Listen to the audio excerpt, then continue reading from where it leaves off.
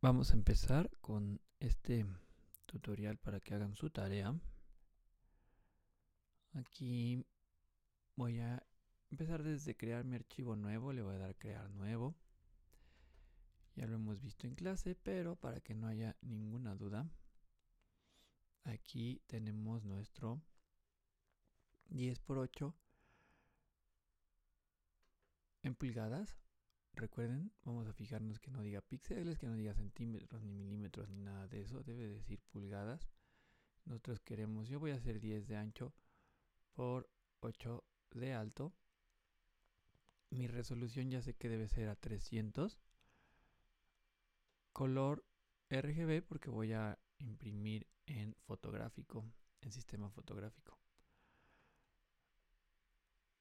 En el contenido del fondo yo normalmente trabajo con transparente. Si ustedes quieren usar blanco o negro también puede ser. Yo voy a usar transparente, es lo que más me acomoda siempre. Y le voy a dar crear. Ahí está. Entonces ya tengo mi lienzo, ya está listo para que pueda empezar a trabajar. Ahí está.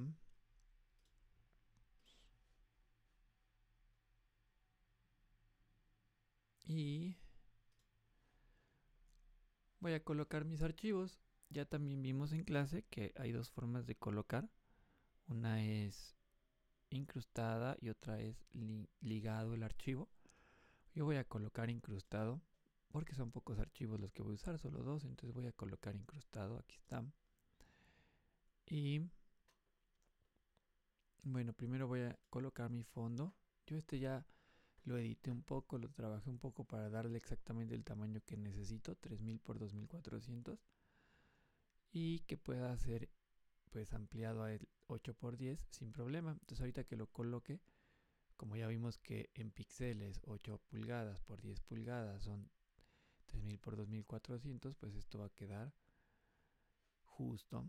Entonces le doy enter y luego voy a colocar el segundo archivo, colocar incrustado.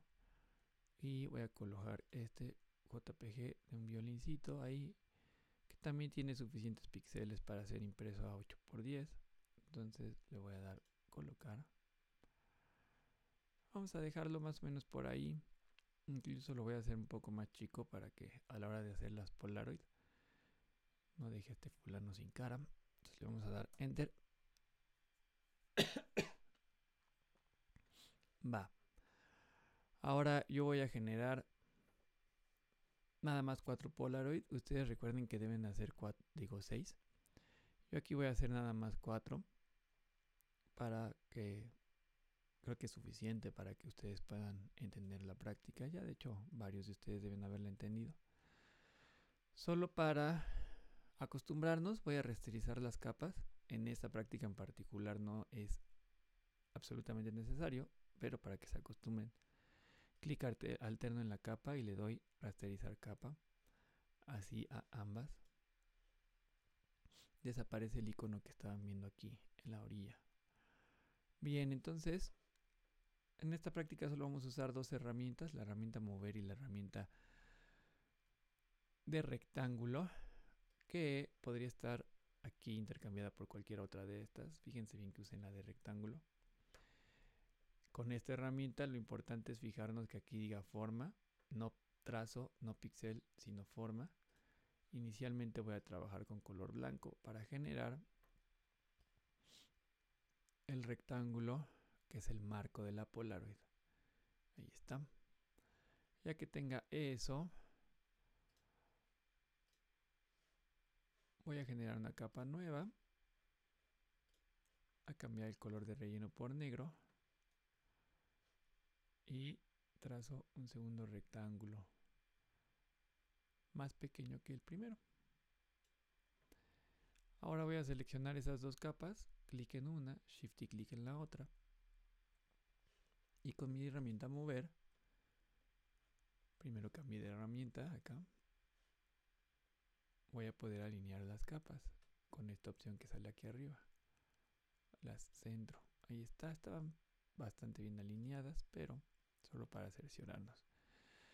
Ahora lo que nos falta es enmascarar para que se vea aquí adentro del cuadro negro el contenido de, de, la foto de atrás, ¿no? Entonces voy a primero tomar la, la capa de violín.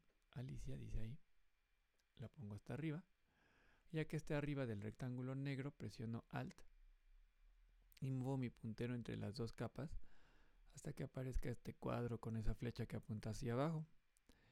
Me indica que voy a generar una máscara de capa y ahí ya me está diciendo que esta capa enmascara la de abajo. Y tenemos esto. Ahora, para ahorrar pasos de una vez en el rectángulo 1, el blanco, voy a dar doble clic para abrir sus, sus estilos de capa y voy a seleccionar la sombra paralela. Ya vimos en clase cómo editarla con estos manejadores de acá. Si ustedes creen que necesitan editarle algo, pueden hacerlo desde ahí. Yo por ejemplo aquí nada más le voy a cambiar tantito el ángulo de aplicación de la sombra. Ahí. Y ya le voy a dar OK. Bien. Ahora lo que voy a hacer es estas tres capas también para simplificarme el trabajo, la de la foto del violinista y los dos rectángulos, las voy a seleccionar las tres. De nuevo, para que no haya duda, clic en la primera, Shift y clic en la última y ya quedan las tres seleccionadas. Y las voy a agrupar, también ya lo vimos en clase. Para agruparlas le doy clic a este carpetita de aquí. Y quedan todas guardadas en un grupo que se llama grupo 1. Le puedo dar doble clic para cambiarle el nombre ahí sobre las letras y le voy a poner Polaroid 1 ya me queda no y la voy a duplicar con control J. Yo quiero tres copias para tener al final cuatro Polaroids. Entonces control J control J control J. Ahí está. Mis cuatro Polaroids. Ahora para desplazarlas lo que voy a hacer es ir abriendo los grupos con esta flecha y de cada grupo voy a seleccionar nada más los rectángulos. Clic en el primer rectángulo, shift y clic en el segundo. Y como está activa mi herramienta mover, yo ya puedo mover esta. La puedo rotar con control T si me parece correcto. Ahí y le doy enter. Lo mismo en la que sigue. Yo puedo desplegar mi grupo con esta flechita. Selecciono ambos rectángulos y con mi herramienta mover que ya está activa hago aquí mi desplazamiento y con control T puedo rotar y ya le doy enter. Lo mismo con la que sigue. Clic en la primera shift y clic en la segunda. Movemos rotamos y damos enter. Y así ustedes harán mínimo 6 de estas polaroid. Yo aquí hice 4 nada más para terminar rápido el video. Si ustedes quisieran mover de profundidad alguna de las capas alguna de las polaroid por ejemplo digamos que yo quisiera mandar esta para arriba, lo único que tengo que hacer es mover todo su grupo. Ya no tengo que estar seleccionando capas, sino que con el grupo lo puedo pasar hasta arriba y ya desplazaré esa Polaroid más para arriba. Ahí es un poco raro porque le corto la cara, pero quería mostrárselos.